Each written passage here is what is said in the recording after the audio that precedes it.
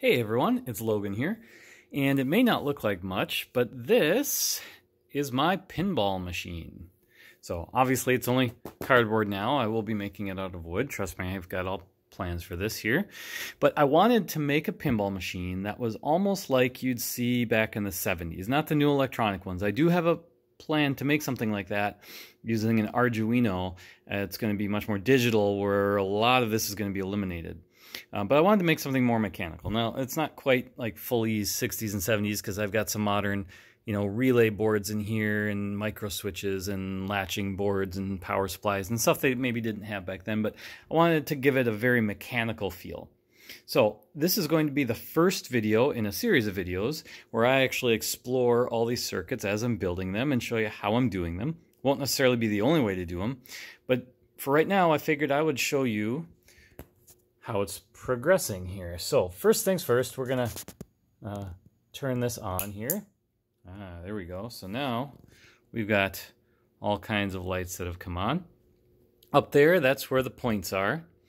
So first things first, we got our flippers, and we, we hit a flipper. Ah, we get a little light. So obviously we don't have flippers yet, but we are going to have flippers. And we got another flipper there, and another flipper kind of underneath here. So when we hit this, there we go. We get these. And this one, there we go. We get another one there.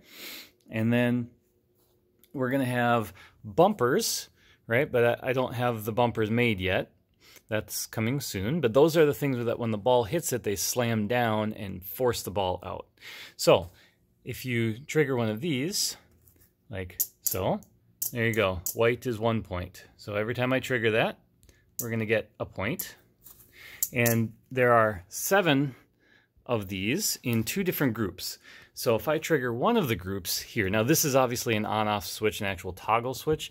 Uh, it's not going to be a toggle switch finally. There's going to be just a, a push right here. But for now, this is what I have. So when I trigger this, ah, you get 500 points.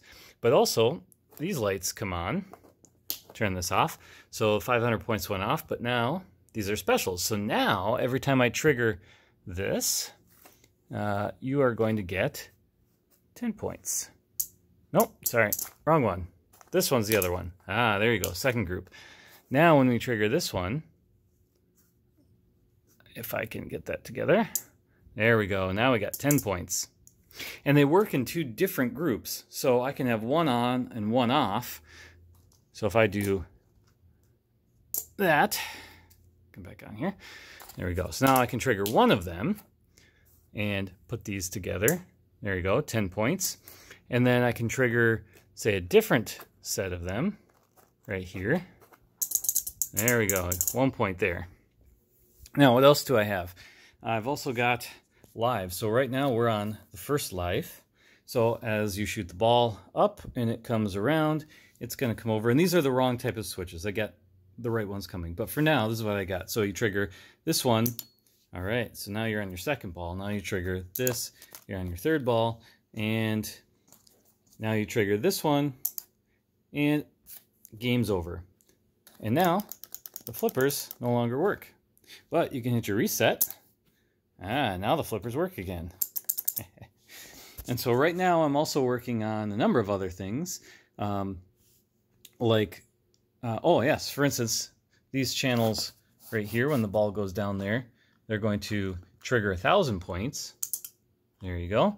But then you also see the light went out. And now every time I trigger it after that, we get 10 points. And right now I'm working on the ball return. So what's going to happen is, I'm sorry, not ball return, ball capture. So what's going to happen is it's going to come in here and normally it's just going to kick it out. There's going to be a kicker right here that pushes it out. But if you hit this, it's going to lock it in there. So next time the ball comes in here, it's going to stay there and then release the second ball. And then eventually you'll trigger something else that I haven't figured out yet, and that will kick that back out, and then you've got multi-ball.